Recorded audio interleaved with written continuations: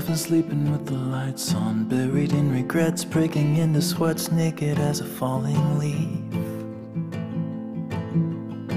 Well, it's a natural reaction, driven to distraction, clawing at the ghosts I'll never meet.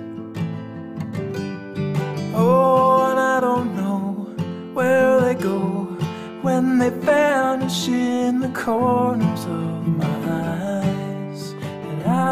Don't know why, I don't know if they stay below or rise up to the sky.